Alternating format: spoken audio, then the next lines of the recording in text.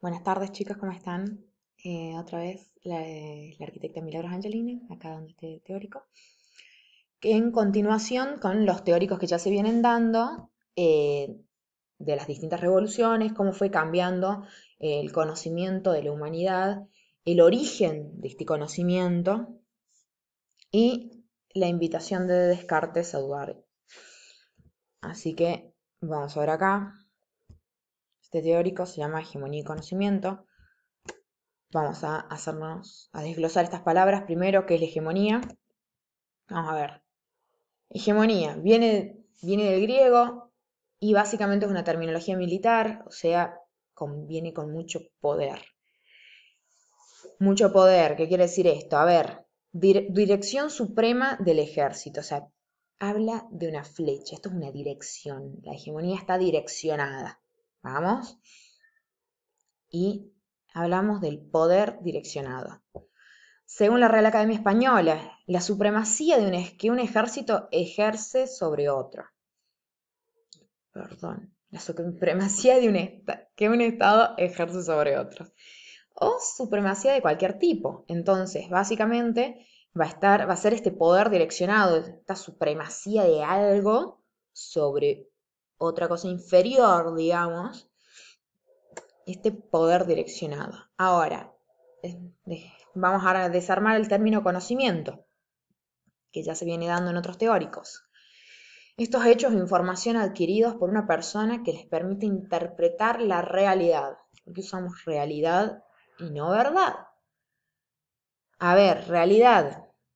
¿Qué es lo que acontece de manera cierta o verdadera lo que existe, lo que existe realmente, verdaderamente, la totalidad compleja, compuesta por una unidad del fenómeno y su estructura conceptual. ¿Bien? Esta totalidad compleja va a ser la realidad. Ahora, ¿qué pasa? Este conocimiento va a estar compuesto por dos partes. Inicialmente vamos a tener este eh, momento de percepción. O yo percibo el fenómeno, percibo la cosa, lo capto, reconozco que se manifestó algo. Y vamos a tener una segunda parte donde voy a identificar las relaciones. Empiezo a identificar el por qué, el para qué, qué ocurrió, qué ocurrió, ¿bien? Y esto me va a permitir comprender su estructura y alcanzar una comprensión integral de esta realidad, ¿bien? Ahora vamos a ver información. Este conjunto organizado de datos procesados constituye el mensaje. Cambia el estado de conocimiento del sujeto que lo recibe. Bien, Esta va a estar dado en un lenguaje, un sistema de comunicación. Acá la información, fíjense que el término información no dice en ningún momento que sea verdad o no, o que sea real o no. Son datos procesados, simplemente. Entonces, vamos a esto. ¿La información es verdad? ¿Qué sería verdad? ¿Qué sería la verdad? Estamos hablando, es lo mismo hablar de objetividad, verdad, realidad. ¿Cómo les parece? Santo Tomás de Aquino nos dice que la verdad es la adecuación entre la cosa y el entendimiento seguramente eh, también vamos a tener distintas verdades según los tiempos, según las personas. Y vamos a identificar dos situaciones. separemos lo que viene a ser conocimiento científico de ideología.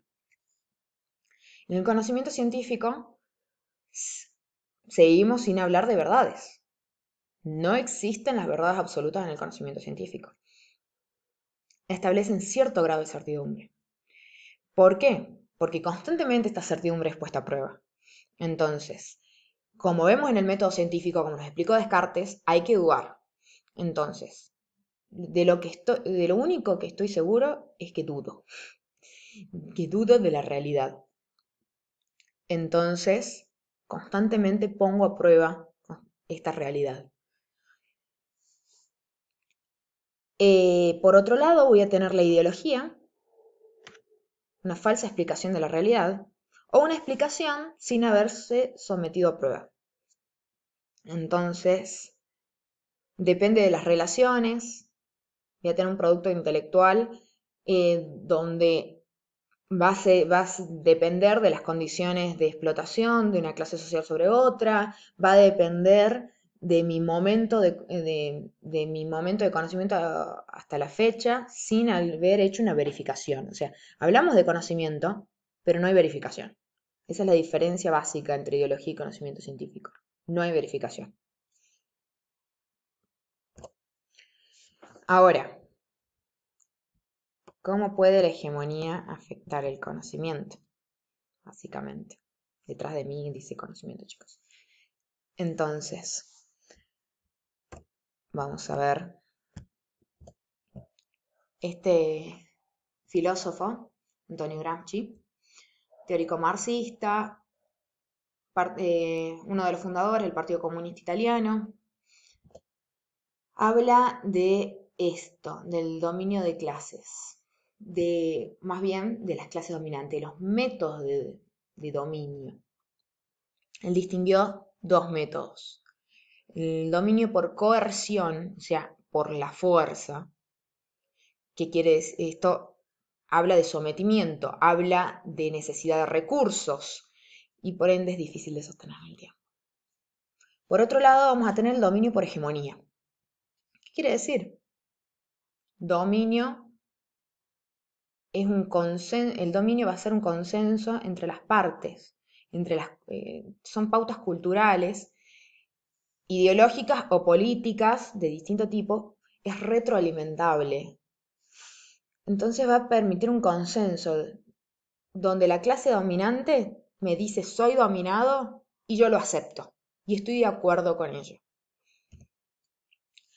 Acá vamos a utilizar para explicar esto la alegoría de la caverna de Platón, este ejemplo que me encanta, donde en esta caverna intrincada vamos a tener en el último sector, en esta caverna fría, unos esclavos, unos rehenes que están acá de nacimiento, solo conocen la caverna, nunca han ido más allá, y están atados, no pueden salir. Y al mismo tiempo están, están siendo todo el tiempo eh, dominados, dígase, por el miedo a las sombras que ejercen, uy, perdón, perdón, el miedo a las sombras que ejercen unas personas en un recodo más allá de la caverna. Entonces constantemente ven estas sombras que son proyectadas y están conformes con su estado de esclavitud porque más allá es más peligroso. Entonces se encuentran en el último recodo de la caverna, atados, como rehenes, y están conformes con ello. Siguientemente, estas personas que los tienen prisioneros van a ser, son las que proyectan las sombras, que tanto, que tanto atemorizan a, estos, a las personas, a los esclavos. La teoría viene de que estos tipos, y estas personas que los tienen prisioneros, liberan a uno, a dos, y les dicen salgan. Y los fuerzan a salir de la caverna y se encuentran con la realidad. Se encuentran con la realidad, con el sol, con la luz. Y dicen, de 10, está buenísimo esto. Traigamos a los otros, les va a encantar.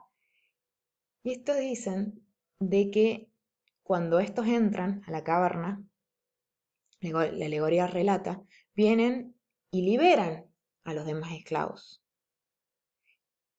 Y les dicen, vamos, que el sol está hermoso afuera, es, hermoso afuera de la caverna, no hay sombras, vengan. Y, estos, y los esclavos que se encuentran acá, que no salieron, que tienen miedo, que están conformes con su recodo de la caverna, dicen, no, No, no, no, no vamos a salir, no, ustedes están locos, el sol los cegó, las sombras les, les hicieron la cabeza, entonces son capaces de hasta matarlos con tal de no salir de su caverna, donde su esclavitud es voluntaria. Entonces, este explica cómo el estado de conocimiento puede cambiar nuestra situación de dominio, ya sea a la fuerza, estando atados, o por hegemonía, por miedo.